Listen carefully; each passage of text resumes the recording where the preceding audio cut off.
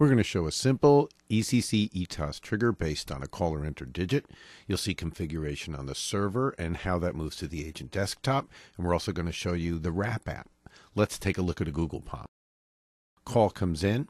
I have a caller enter digit 123456 entered in communicator. We have appended that to a URL that we have set to open Firefox. So here's our caller enter digit as part of the URL. We're now going to end the call, and the WRAP app is now going to pop. We're going to indicate this was a successful call, hit send, and our interaction is complete.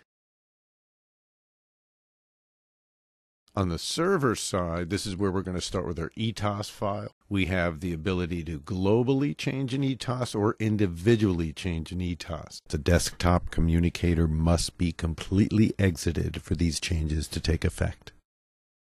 So let's take a look at our single agent change here. We're going to look for agent 2562, open their ETAS file, and what we're going to see here is that we have our triggers set to 1. That's going to turn them on. We're going to have the ability to do a trigger on an ACD call, but not on email and not on chat. Not necessarily on an incoming event, but on a connected event.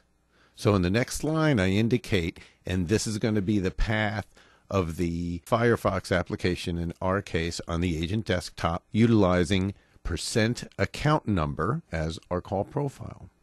You can also see we're doing something very similar on wrap up to open another agent desktop application.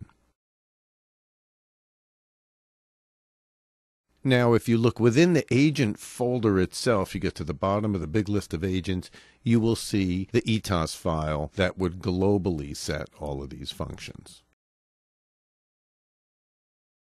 On the agent desktop side, we're going to watch the ETAS file update. We're going to restart Communicator or the toolbar, and then we're going to watch the call pop into Google once again. So here we are in the agent desktop. You can see here is a ETAS file last updated at 10:57 a.m. We restart communicator. Now we're going to zoom in and watch that time change as the server forces a new ETAS file to the agent desktop. Here's our call. Here's our Google pop. And once again, here's our 123456. I hang up and automatically unwrap the application pops. I enter my WRAP code. Our interaction is finished.